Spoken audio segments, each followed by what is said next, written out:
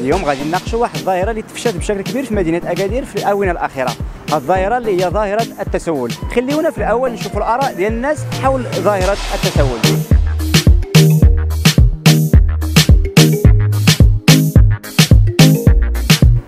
آه، ظاهرة التسول هي واحد الظاهرة تفشات عندنا في مدينة أكادير بواحد الدرجة اللي ولات كتخوف بزاف حيث أننا ما بقيناش مكتفين مع المتسولين المغاربة اللي تينتميو للجهة تاعنا.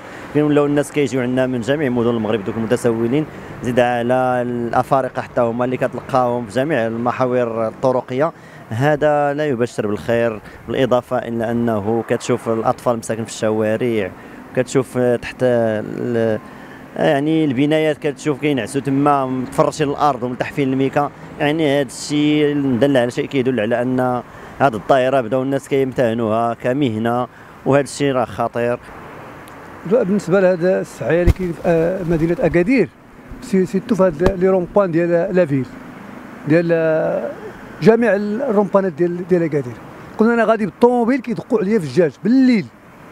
أنا تعرضت لهذا الطلبة العوزه هزيت أنا مانغو في الطوموبيل وهبط لهم. كنا غنديروا شي حاجة كبيرة. غير دخلوا صحاب السياره داك الشيء وفكوا داك الشيء يعني دايرة ما كانش عندنا في هذه البلاد كاع.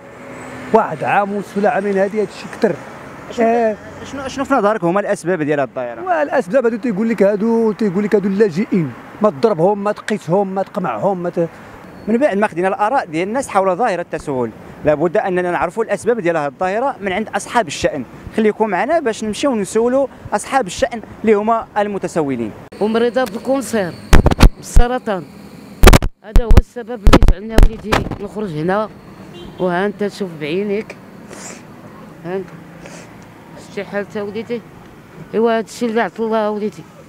وما كان اللي يساعدك ولا اللي يعاونك إلا ما خرجتي طلبتي راه التحليلات راه السكانر راه الترويض كل شيء عندي تما ولكن اللي يعاوني فيهم راه ما كاينش.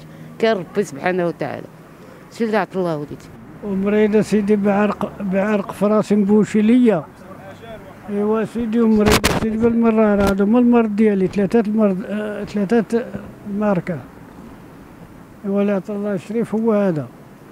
وولادك واللي يعاونك ما كاين عندك حتى شي واحد؟ آه ودي الولاد ابن عمي واحد لينا فروسه ما خلي الولاد عند الله. الله بيناتنا معاكم ولا خليهم عند الله. واحد مساكنه فروسهم قليل فين نعيط عليهم ويجوا يصيفطوا لي في التليفون ديك عشرة آلاف. يا سيدي عمرهم فاتوها ليا. حق اللي الحق وجانبي واش غادا ابن عمي ديري عشرة آلاف؟ أنا راه ضربت. في هذاك في هذاك السلطان خرجت لي فيه ثمانية ليباري. كل كل بر ب 40000 ب 70000 وهذوك هما اللي ابن عمي سيزاوني صافي. قول لي ودار العجزة ما عمرك مشيتي ليها؟ ما عرفتش سيدي دار العجزة ما عرفتهاش. الدولة ما عمرها عاونتك؟ لا سيدي الدولة يصيفطوني قلت لك هذا الشيء اللي قلت لك هو اللي كاين.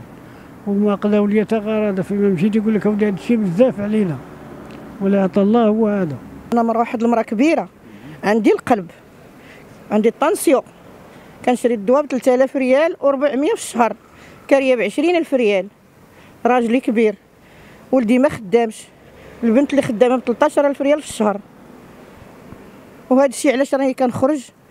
كنصور النهار ما ناكل وما نصير وكنعاون بنتي. وهذا الشيء اللي عطى الله السوق.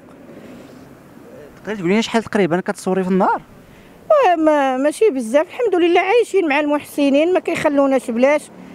ديك 1000 ريال 1200 800 كاين نهار اللي نمشي بلاش.